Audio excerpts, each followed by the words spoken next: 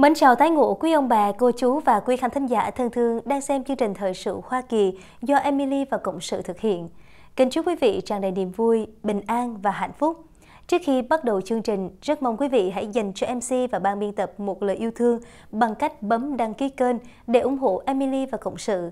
Và sau chương trình, xin quý vị hãy chia sẻ những nội dung hấp dẫn này đến với nhiều người hơn để cùng nhau tạo nên một cộng đồng ủng hộ Tổng thống Trump năm 2024. Trở lại chương trình hôm nay, Emily xin gửi tới quý vị những nội dung đáng chú ý sau đây. Người thừa kế Disney tuyên bố sẽ không tài trợ cho đảng Dân Chủ cho đến khi Tổng thống Joe Biden rút lui. Barack Obama, Joe Biden, Kamala Harris, Adam Schiff bị gọi tên trong đường dây rửa tiền của vua Jack David Dương. Và sau đây là phần thông tin chi tiết. Kính thưa quý vị, Tổng thống Joe Biden đang phải đối mặt với sự phản đối từ một số nhà tài trợ giàu có trong đảng của ông, bao gồm cả người thừa kế tài sản của gia đình Disney. Những người nói rằng họ sẽ không có tài trợ giúp cho đảng Dân Chủ nữa cho đến khi Tổng thống Biden rút lui khỏi cuộc tranh luận ứng cử sau màn tranh luận thảm hại của ông. Abigail Disney, cháu gái của Royce O. Disney, người đồng sáng lập công ty Walt Disney, nói với CNBC hôm thứ Năm rằng bà dự định sẽ từ chối quyên góp cho các bên mà bà đã tài trợ trong nhiều năm cho đến khi Tổng thống Biden rút lui. Trong khi Tổng thống Biden cho biết ông không có kế hoạch rút lui khỏi cuộc đua, bất chấp những lời kêu gọi ông nên nhường cho người khác. Abigail Disney là người ủng hộ lâu năm của đảng Dân Chủ. Theo hồ sơ của Ủy ban Bầu cử Liên bang, bà đã tặng 50.000 Mỹ Kim cho Ủy ban Hành động chính Jen Fonda Glimace vào tháng 4. Theo dữ liệu từ Open Secret, PAC đã tặng 35.000 Mỹ Kim cho các thành viên dân chủ tranh cử các ghế quốc hội. Theo Open Secret, Disney đã trao tặng 150.000 phiếu bầu của Mỹ vào năm 2014 cho Planned Parenthood Votes, một PAC liên kết với các tổ chức phi lợi nhuận về chăm sóc sức khỏe. PAC trong chu kỳ bầu cử này đã chi hơn 400.000 đô la Mỹ để hỗ trợ cho các đảng viên dân chủ trong đó có 26.000 đô la Mỹ cho Tổng thống Joe Biden.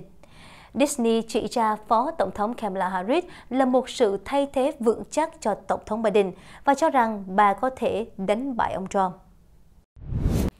Barack Obama, Joe Biden, Kamala Harris, Adam Schiff bị gọi tên trong đường dây rửa tiền của vua sát David Dương. Quý vị thân mến, tại khu phố tàu ở thành phố Oakland, bang California, có một quán bar mang tên Music Cafe, nơi ông Andy Dương, con trai vua Jack David Dương, bị cáo buộc vận hành một mô hình rửa tiền chính trị. Báo The Auckland Side cho biết, vào năm 2018, bốn đặc vụ thuộc Cục Kiểm soát Đồ uống có cồn, một cơ quan của chính quyền bang Cali quản lý việc sản xuất, phân phối và bán đồ uống có cồn, đã thực hiện 5 cuộc điều tra ngầm tại Music Cafe sau khi được phím tin về việc quán bar này mở cửa sau 2 giờ sáng, bán ma túy và vi phạm một số luật khác. Trong năm cuộc điều tra, bốn đặc vụ đã mua và sử dụng ketamine, cocaine và thậm chí sử dụng cả dịch vụ mại dâm tại Music Cafe. Theo báo The Auckland Side, mỗi năm có hàng chục quán bar, quán karaoke, nhà thổ bị phát hiện có những vi phạm tương tự. Nguyên nhân vụ việc tại Music Cafe được chú ý hơn là do sự liên kết của quán bar này và một số quản lý tại đây với mô hình rửa tiền chính trị của ông Andy Dương, người vừa bị Cục Điều tra Liên bang khám nhà hôm ngày 20 tháng 6 theo giờ Mỹ. Theo hồ sơ điều tra, ông Andy Dương được cho là đã tuyển hàng chục người để viết chi phiếu cho các chính trị gia tranh cử vào Hội đồng thành phố Auckland. Sau đó, ông Andy Dương đã khoan lại tiền cho những người này bằng tiền của mình hoặc của công ty California Waste Solution. Công ty California Waste Solution có chủ sở hữu là ông David Dương, cha của ông Andy Dương. Công ty này là nhà thu gom tái chế rác chính thức của thành phố Auckland và có hợp đồng tái chế rác thải trị giá hàng triệu đô la với chính quyền của thành phố. Công ty của ông David Dương cũng cung cấp dịch vụ cho thành phố San Jose, bang California. Mô hình nhà tài trợ bù nhìn Kính thưa quý vị, vào năm 2019, một năm sau khi Music Cafe bị khám xét, Ủy ban Đạo đức Công của thành phố Auckland và các nhà điều tra viên của Ủy ban Thực hành Chính trị Công bằng đã mở cuộc điều tra liên quan tới các cáo buộc nhắm vào gia đình họ Dương. Tâm điểm điều tra là ông Andy Dương. Ông và gia đình bị cáo buộc tài trợ bất hợp pháp cho các ủy viên Hội đồng thành phố Auckland. Như đã nói ở trên, ông Andy Dương bị cáo buộc tuyển dụng người làm trung gian để đóng góp cho các chính trị gia trong các chiến dịch tranh cử vào Hội đồng thành phố Auckland. Thưa quý vị, mô hình đóng góp tiền này có tên là nhà tài trợ bù nhìn. Theo các điều tra viên, các khoản đóng góp này vi phạm pháp luật vì che giấu nguồn gốc thực sự của tiền và vi phạm luật của Auckland, cấm các nhà thầu ở thành phố quyên góp cho các chiến dịch tranh cử của những cá nhân tranh cử vào hội đồng thành phố hoặc các vị trí khác trong bộ máy chính quyền thành phố Auckland. Theo bài viết ngày 15 tháng 9 năm 2020 trên báo The Auckland Side, các điều tra viên cáo buộc 13 cá nhân đã đóng vai trò tài trợ bù nhìn để chuyển tiền từ ông Davis Dương, chủ sở hữu của CWS và ông Andy Dương cho các quỹ chiến dịch tranh cử của các ủy viên Hội đồng thành phố. Theo một tài liệu năm 2021 của Ủy ban thực hành chính sách chính trị công bằng trong một vụ kiện, một trong những người được cho là người tài trợ bù dình, ông Andy Dương và có thể là cả các thành viên khác trong gia đình ông Dương bị các buộc đã tạo điều kiện cho ít nhất 93 khoản đóng góp chiến dịch gian lận này. Khoản tiền đóng góp rơi vào khoảng 76.000 đô la. Quay lại vụ khám nhà hôm ngày 20 tháng 6, khi đó nhà của ông Andy Dương và thị trưởng Auckland Sơn Thao đã bị khám xét. Sau sự việc, một số chính trị gia ở Mỹ đã bày tỏ ý định trả lại hoặc góp từ thiện số tiền họ từng nhận từ ông David Dương hoặc công ty California Waste Solution, theo San George Spotlight.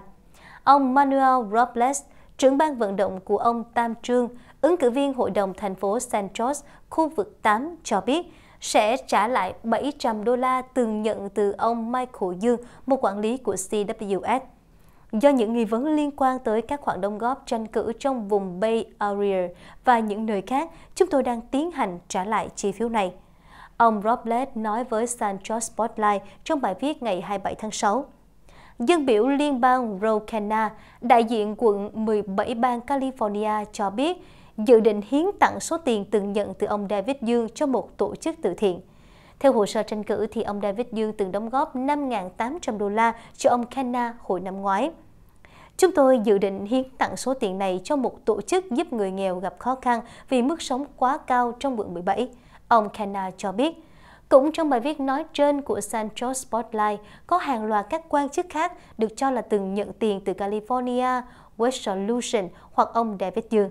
Các điều tra viên đã báo cáo phát hiện có tiền từ CWS trong các chiến dịch tranh cử năm 2018 của ứng cử viên Hội đồng thành phố St. George lúc đó, ông Tam Nguyên, và ứng cử viên Hội đồng Giám sát hạt Santa Clara, ông Don Rocha, theo báo cáo điều tra của Ủy ban thực hành chính sách chính trị công bằng.